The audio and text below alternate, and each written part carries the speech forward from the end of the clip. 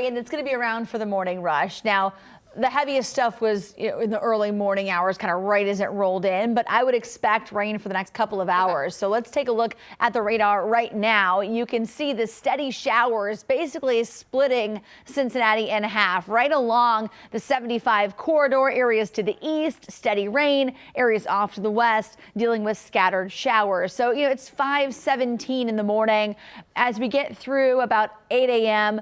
All the steady stuff should be moving out, but a straggler shower or two probably possible for us through around 10 a.m.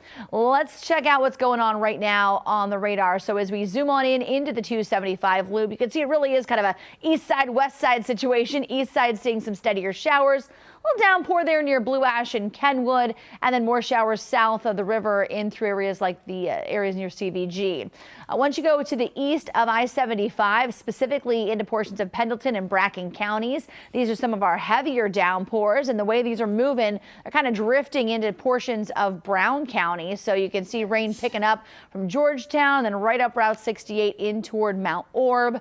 Steady rain showers across Warren County. You can see steady stuff still right along along areas near Mason and up toward Lebanon. And this is slowly going to be drifting to the north and east. Uh, Butler County seeing a few more breaks, but you can even see over toward Oxford, rain starting to move right back in again. And we've got a couple of clusters of downpours on the state line, Harrison and areas near Oxford and Brookville still dealing with some rain. So that's why I say, you know, it's going to be 8 o'clock, the steady rain is over, but probably 10 o'clock before little pockets of showers are done with us. If you take a look to the south here, utilizing the Louisville radar site, all of this kind of still drifting in our direction over the next couple of hours. So to take you hour by hour through this futurecast, let's take a look at uh, now through about 8 a.m. So currently rain fairly widespread, especially to the east.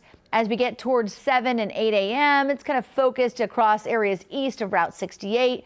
And after the 8 o'clock hour, a couple of spotty showers possible through maybe 10 o'clock or so. And I think the clouds linger through lunchtime, but the afternoon should bring some brighter skies. And temperatures today will eventually make it into the 70s. So right now, rain, 8 a.m., some scattered showers still. But after that point, things are drying out and we should be in the mid 70s into the afternoon. Taking a peek at the pig this weekend, it does look rainy for Friday. So if you're headed down to the expo to pick up your packet or running in the 50 West Mile, that's our wettest day. Could be a couple of sprinkles Saturday and dry and very warm on Sunday is kind of the headline for this year's Flying Pig Full in Half. 74 today, low 80s the next two days. Some rain showers on Friday. And then as we get into Sunday, we start out at 61 degrees in the morning quickly warming through the 70s, depending on how long you're out there on the roads running or walking. All right, speaking of driving this morning, Katie, do we have any slowdowns? No slowdowns right now, which is a good thing, but roads are certainly wet here. It's the 71, 75 at Turfway. We have a semi pulled off here on the shoulder,